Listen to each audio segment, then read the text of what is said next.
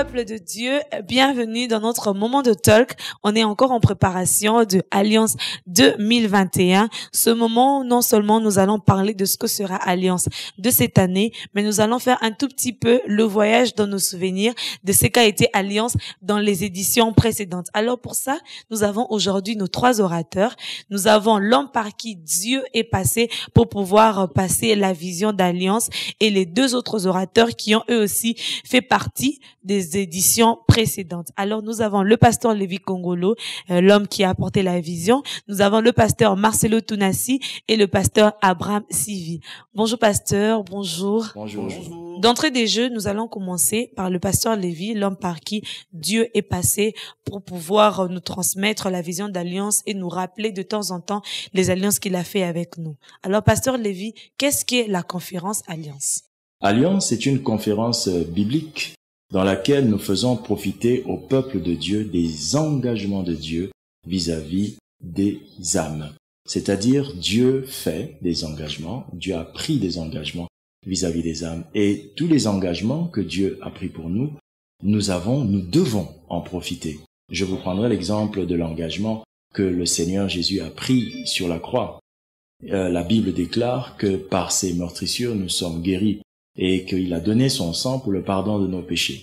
Eh bien, la mort de Christ à la croix nous a offert une alliance puissante. C'est l'alliance du sang de Jésus. C'est un grand engagement que Dieu a pris. Dans cet engagement, Dieu prend la décision de pouvoir nous guérir de nos maladies.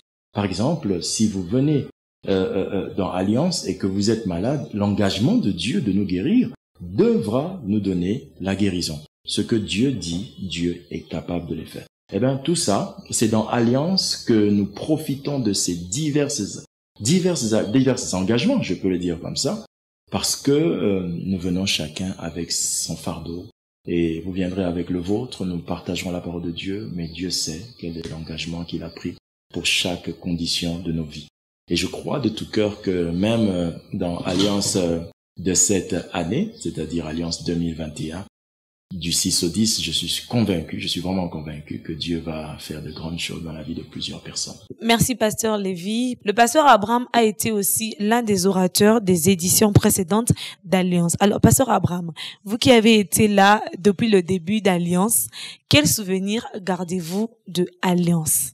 Euh, je bénis Dieu pour cette question parce que euh, les éditions précédentes ont été une grande bénédiction pour moi par euh, ces deux éditions, le Seigneur a fait que beaucoup d'âmes puissent être bénies par le message euh, qui ont été communiqués.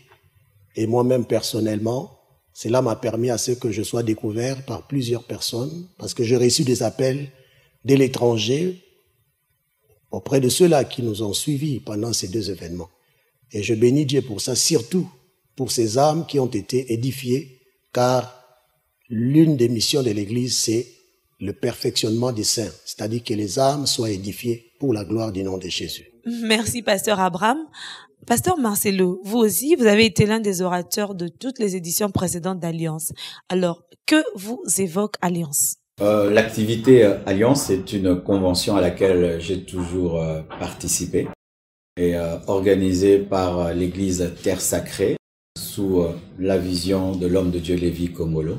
C'est une conférence de bénédiction, euh, d'impact, où le peuple de Dieu est béni, les hommes de Dieu, et la parole de Dieu est prêchée avec puissance et vie, et j'ai toujours été honoré d'y être invité. C'est ce que cela me rappelle. Merci beaucoup, Pasteur Marcelo. Pasteur Lévy, nous avons, euh, Pasteur Abraham nous a parlé de ce qu'a été Alliance des éditions précédentes. Le Pasteur Marcelo nous a dit ce que ça lui évoquait aussi. Vous nous avez expliqué ce que ce que c'était, ce que c'est qu'Alliance. Alors, qu'est-ce que vous nous préparez Quel message vous porterez au peuple de Dieu cette année dans cette nouvelle édition?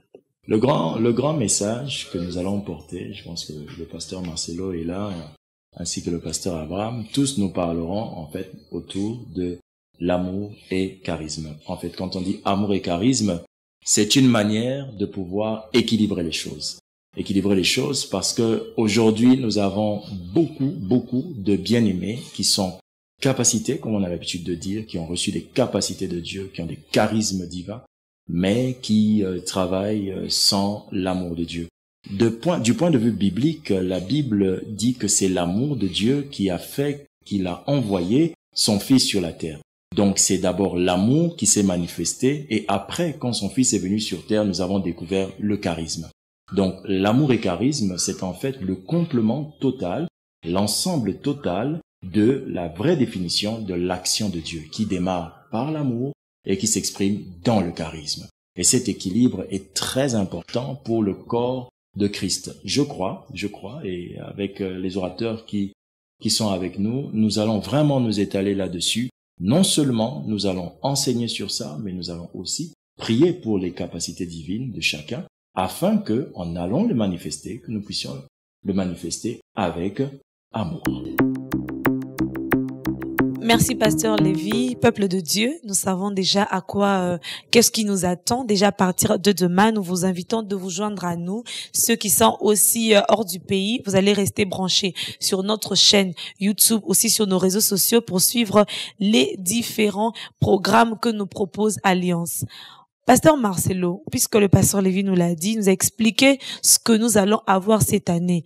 Mais nous aimerions savoir quelle est la place des alliances avec Dieu dans notre marche chrétienne? Euh, L'alliance est importante pour marcher avec Dieu parce que l'alliance c'est plus que même un contrat, c'est plus que même un pacte où Dieu s'engage à devenir l'ami de tes amis et l'ennemi de tes ennemis. Et c'est déjà extraordinaire si tu fais un contrat avec un milliardaire, mais déjà ça change ta vie. Mais faire une alliance avec Dieu, Là, c'est plus qu'extraordinaire. Mais cette alliance ne touche pas seulement notre relation avec Dieu, mais aussi notre relation avec les hommes. Parce que si des alliances avec des hommes qui bénissent et qui nous introduisent à un autre niveau. Donc, c'est un point de contact pour recevoir ce qu'on n'a pas et pour donner ce qu'on a. Merci, pasteur Marcelo, euh, pour cette réponse richement donnée. Euh, mais pasteur Abraham, si euh, vous pourriez encore nous dire, il y a une chose quand même qu'il est important de signifier au peuple de Dieu. Quelle est l'importance des alliances de nos pères, de nos prédécesseurs dans notre vie aussi, dans la marche chrétienne? L'avantage des alliances de nos prédécesseurs, c'est là qui nous ont précédés dans la foi, ce sont des gens qui ont aimé Dieu, ce sont des gens qui ont servi Dieu de tout leur cœur. Et à tout moment que nous nous référons à Dieu au travers de l'alliance qu'il a conclue avec eux, puisque ce sont des gens qui ont bien marché, puisque ce sont des gens qui ont marqué l'Éternel, l'Éternel se souvient d'eux et lorsque nous plairons à Dieu, Dieu nous fait du bien en se basant aussi à la manière dont ceux-là qui nous ont précédés à la fois ont marché et le Seigneur nous répond favorablement par rapport à nos attentes. Pasteur Lévy, comme le pasteur Marcelo Abraham nous ont donné l'importance aussi des alliances, non seulement des prédécesseurs. Pasteur Marcelo nous a parlé de l'importance de l'alliance dans notre marche chrétienne. Le pasteur Abraham Sivi nous a expliqué de mieux en mieux l'importance des alliances de nos prédécesseurs. Euh, mais dans vos messages anciens, vous avez une fois parlé, vous avez même signifié le, le passeport du ministère. Alors, euh, de façon un peu plus approfondie, pourriez-vous nous expliquer ce que c'est que les passeports du ministère? Je me rappelle que c'est un enseignement que nous avons coutume de donner aux serviteurs de Dieu, les, les différents ministres de Dieu. Ils savent déjà pendant euh, cette activité d'alliance 2021, nous aurons encore l'occasion d'être ensemble dans l'école du ministère. L'école du ministère aura lieu à partir du mardi, du mardi 7 euh, septembre jusqu'au vendredi 10 de 9h à 12h. Et dans l'école du ministère, nous avions, dans les années passées, parlé du passeport du ministère. Le passeport du ministère, c'est en fait un ensemble de choses qui permet à ce que le ministère que Dieu vous a donné soit exercé avec une grande efficacité. Dans le passeport, on a en fait une déclinaison d'identité. On dit nom, prénom, poste-nom, âge et autres. C'est en fait l'ensemble des choses qui vous définissent. Maintenant, dans le ministère, il y a cinq choses qui nous définissent. La première chose qui nous définit, ce sont les talents. Les talents, c'est l'ensemble des choses que nous savons faire facilement, aisément. Vous savez, euh, plusieurs d'entre nous sont revêtus par Dieu d'une manière ou d'une autre et nous avons des talents. Il y a ceux qui ont des talents artistiques, il y en a qui ont des talents euh, talents intellectuels. Bref, le talent que vous avez vous aide à servir Dieu. Ça c'est la première chose que vous devez définir dans votre passeport du ministère, c'est-à-dire dans la chose dans dans votre ministère si vous voulez euh, servir Dieu avec efficacité, la première chose qui vous ouvrira les portes, c'est la maîtrise de vos talents. La deuxième chose, ce sont les dons. Les dons ici, c'est un peu le côté charismatique qui fait que nous avons le don de la parole de connaissance, la prophétie et autres, le miracle, la guérison. Euh, la connaissance des dons spirituels que vous avez vous permet vraiment d'exercer euh, votre travail, votre ministère, euh, d'être dans le champ de Dieu avec une très grande efficacité. Et connaître ces dons, c'est très important. Et c'est la deuxième chose qui ouvre un ministère à des résultats à la gloire de Dieu. La troisième chose, ce sont les grâces. Les grâces, c'est l'ensemble de choses qui vous arrivent aisément. Et dans l'appel d'une personne, euh, les talents ne suffisent pas, les dons ne suffisent pas, il faut aussi avoir des grâces. Avoir des grâces, ça veut dire avoir des choses qui vous arrivent sans forcer. Ce sont des grâces. Et Dieu, pour chaque être humain, Dieu a donné des grâces particulières. Et quand vous êtes dans le ministère, vous pouvez avoir la grâce de, de consoler des gens, vous pouvez avoir la grâce de d'avoir l'attention des gens, à l'âge dire. Il y a des gens quand euh, ils parlent, c'est bizarre, on a on a on aime les écouter. Il a il a cette grâce de d'avoir l'attention des gens.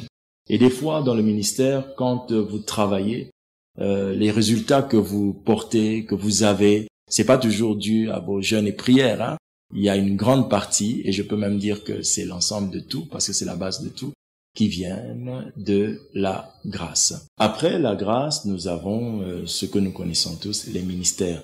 Les ministères, les cinq ministères, et comme euh, je le disais que c'est un enseignement qui est très très lié à ceux qui sont appelés par Dieu, et il y en a qui, euh, en dehors du fait qu'ils connaissent leurs talents, ils connaissent leurs dons, ils connaissent les grâces qu'ils ont reçues, ils ignorent leur ministère. Et le fait d'ignorer son ministère fait qu'on divague un peu dans tout et on est livré à la séduction d'autres ministères. À un moment, le ministère pastoral régnait beaucoup et tout le monde se faisait appeler pasteur. À un moment, c'était évangéliste, tout le monde se faisait appeler évangéliste. Et aujourd'hui, on remarque que le prophète règne beaucoup et tout le monde veut être prophète. Et ce qui fait ça, c'est tout simplement parce que il y a une ignorance du ministère principal que Dieu vous a donné.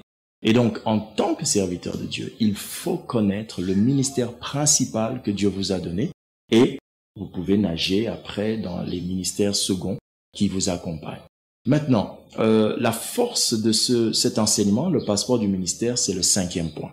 Pourquoi? Parce que en dehors des talents que vous avez, des dons que vous avez, de la grâce que vous avez et du ministère que vous avez compris, toutes ces choses ne peuvent pas vous apportez en réalité la plénitude de l'accompagnement de Dieu si vous ignorez les alliances que Dieu a faites avec vous.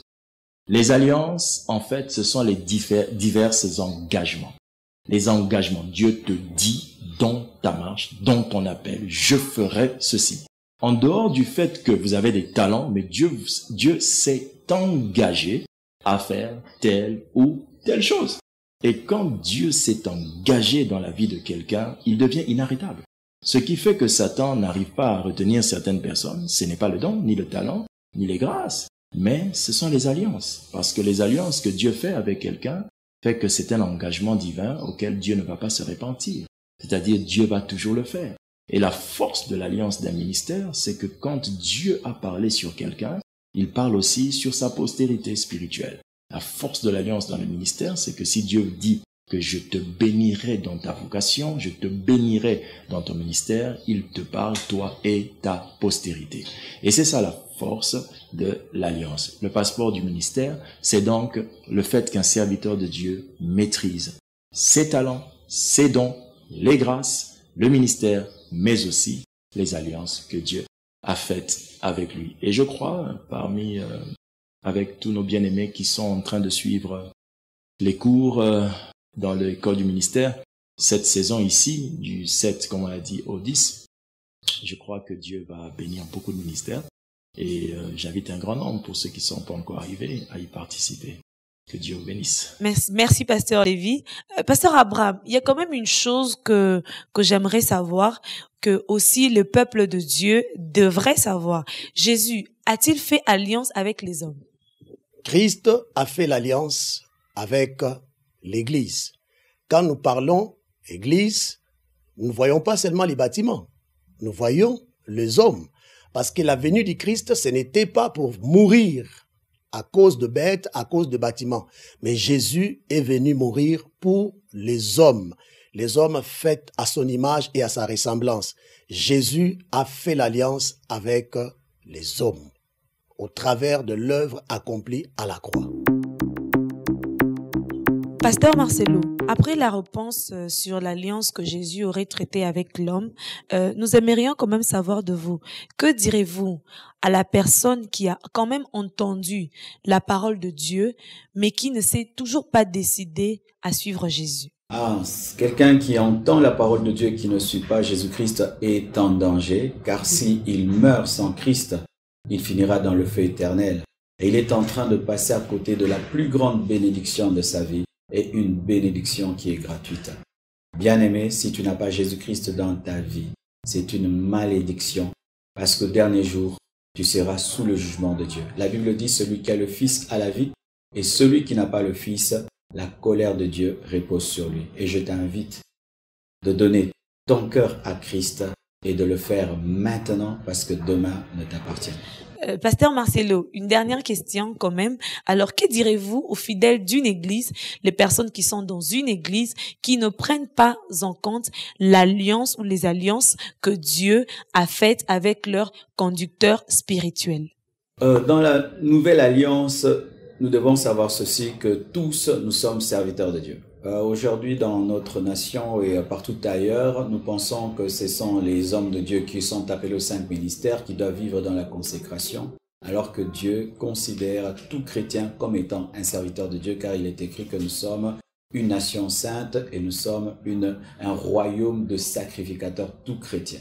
De deux, lorsque tu travailles sous l'autorité d'un homme de Dieu, tu dois être loyal et tu dois être soumis. Je dis toujours ceci, si tu ne peux pas te soumettre à un homme de Dieu, vaut mieux le quitter que d'être sous un homme de Dieu, tu murmures, tu critiques, tu parles dans le dos, ça maudit. Et beaucoup de gens dans les églises sont maudits parce que ils n'ont pas le respect de l'onction. Comment peux-tu appeler un homme père, mais tu le traites comme un ami?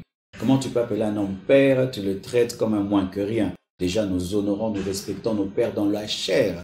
La Bible dit que honore ton père et ta mère et tu vivras longtemps. Ton père physique, ta mère physique, et cela donne la longévité. Maintenant, ton pasteur, un homme un. C'est très dangereux que d'être à côté d'un homme de Dieu et ne pas craindre son Dieu. Parce qu'il ne faut pas craindre l'homme de Dieu, il faut craindre son Dieu. Nous voyons dans la parole de Dieu le disciple Géasi qui est à côté d'Élie, qui a attrapé la lèpre. Pourquoi? Parce que l'homme de Dieu vivait dans la sainteté, il était loin de la cupidité, mais le serviteur qui est à côté de lui est incupide et il a reçu la lèpre comme héritage alors qu'il devait hériter de l'onction. Il faut être comme Élisée. Élisée est à côté d'Élie, il appelait Père, char d'Israël et sa cavalerie. Et Élie a reçu le double de l'esprit qui était sur Élie parce qu'il le traitait comme un père et comme l'armée de Dieu. Donc, si tu es à côté d'un homme de Dieu, respecte, honore, ne crains pas. Euh, n'adore pas un homme de Dieu, mais tu dois honorer, respecter. Et si tu acceptes de travailler à côté d'un homme de Dieu, sois loyal. Sinon, éloigne-toi, va ailleurs où tu te soumettras. Merci beaucoup, pasteur Marcelo. Euh, pasteur Abraham, quand même quelque chose à ajouter euh, à la même question qui a été posée, pasteur Marcelo? L'alliance n'est pas quelque chose à prendre à la légère. Lorsque nous sommes dans une église, Dieu conclut l'alliance avec son serviteur établi dans cette église-là.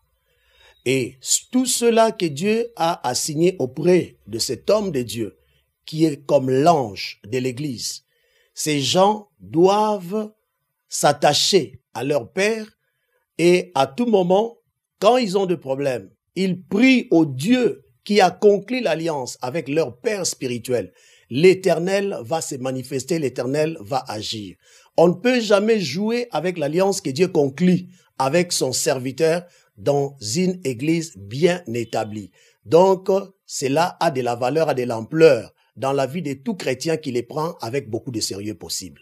C'est comme ça, vous allez voir, les gens qui considèrent l'alliance que Dieu a conclue avec leur Père, ce sont des gens qui vont aller loin, ce sont des gens qui vont vivre la main de Dieu dans tous les secteurs qu'ils exploitent dans leur vie. Voilà, nous tendons déjà vers la fin. Pasteur Lévy, un dernier mot au peuple de Dieu qui euh, qui nous ont suivis, qui ont été si richement bénis pour Alliance qui commence déjà demain. Euh, je voudrais dire à, tous nos bien-aimés que le pasteur Marcelo, le pasteur Abraham Sivi, ainsi que le pasteur Lévy, que je suis, nous sommes dans une grande attente de ce que Dieu va faire. Parce que nous croyons que c'est, ce n'est pas nous qui agissions, mais c'est Dieu. Et euh, le fait de participer à Alliance, je crois que ça va changer la vie de beaucoup de gens. La plupart euh, on a déjà fait alliance trois fois. C'est la troisième fois. On a fait deux fois déjà. Et dans les deux fois, nous avons vu un grand nombre d'hommes et de femmes être bénis. Nous avons réservé deux grandes salles pour euh, contenir euh, un maximum de personnes. Et la capacité que nous avons est de 3000 places si l'on doit rassembler tous les espaces que nous voulons occuper. Alors, euh, vous pouvez vous hâter de venir parce que je crois que Dieu va agir. Les années passées, euh, plusieurs venaient même avant l'heure et ils restaient là en attendant que l'activité commence. Je pense que c'est la soif. Quand vous avez cette attitude de soif, c'est que vous ne regardez plus aux hommes, mais vous regardez à Dieu. Et mon invitation, c'est de vous dire, écoutez, venez, regardons à Dieu. Dieu qui a fait des alliances, qui a pris des engagements pour votre vie, les respectera. Et je suis convaincu que cela commencera déjà demain, demain, le 6 euh, septembre jusqu'au 10 septembre. Et j'invite le grand public de partout. Je sais qu'il y a des gens qui ont fait le voyage, des gens qui se sont déplacés. Et je suis convaincu que Dieu va faire des grandes choses. Si vous avez cette euh, invitation, si vous avez, cette, vous avez suivi euh, cette émission, cela veut dire que vous faites certainement partie de ceux et celles que Dieu veut bénir. Que Dieu vous bénisse.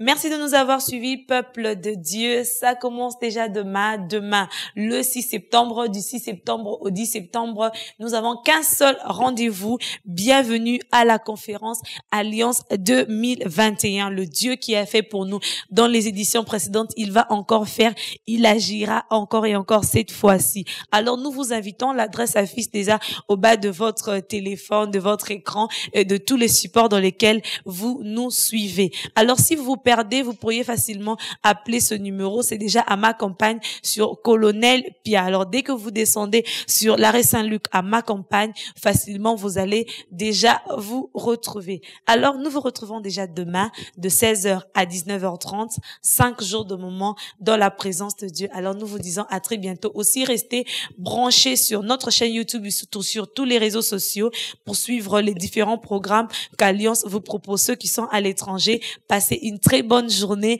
avec Alliance 2021. Nous vous disons à très bientôt.